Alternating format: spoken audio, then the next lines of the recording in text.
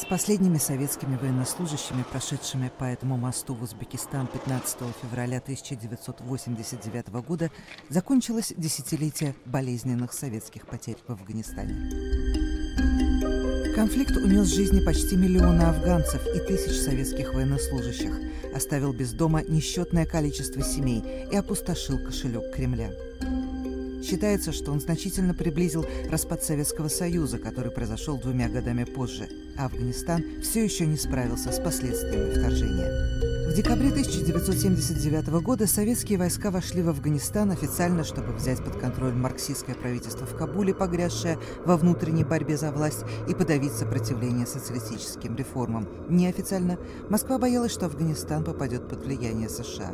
США объявили бойкот Московской Олимпиаде 1980 года. The implications of the Soviet invasion of Afghanistan could pose a most serious threat to the peace since the Second World War. По мере того, как вооруженное противостояние советским войскам расширялось, США и их партнеры на Ближнем Востоке увеличивали помощь деньгами и оружием бойцам исламского сопротивления. Прежде всего необходимо подчеркнуть, Советский лидер Леонид Брежнев обвинил Вашингтон в использовании Афганистана в качестве предлога для расширения влияния в Азии. Конфликт перерос в истощающую войну между советскими войсками, маджахедами, которых поддерживал Запад, и афганским населением. Последовали экономические санкции против СССР. При затянувшейся войне в конце 80-х президент США Рональд Рейган продолжал давление на Москву.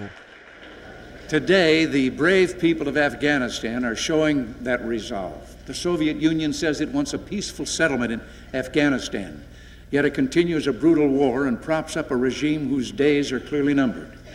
We are ready to support a political solution that guarantees the rapid withdrawal of all Soviet troops and genuine self determination for the Afghan people. Советская экономика входила в кризис, и в Женеве начались переговоры с целью завершить конфликт, не оставив при этом вакуум власти в Кабуле. В середине 1988 года Рейган и Михаил Горбачев подписали документ. We have signed the Geneva Accords, providing for the withdrawal of all Soviet troops from Afghanistan, and the first withdrawals have begun. Полный вывод войск занял почти 9 месяцев. За десятилетие конфликта почти 5 миллионов афганцев, треть довоенного населения страны, бежали в Пакистан и Иран.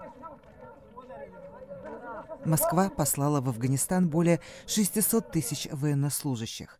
Более 15 тысяч из них погибли.